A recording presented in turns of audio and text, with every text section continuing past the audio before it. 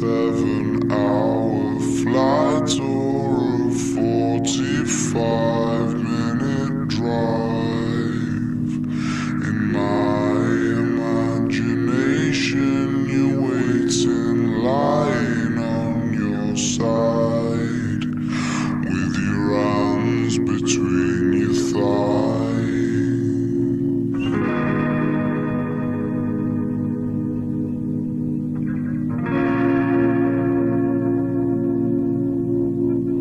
Stop.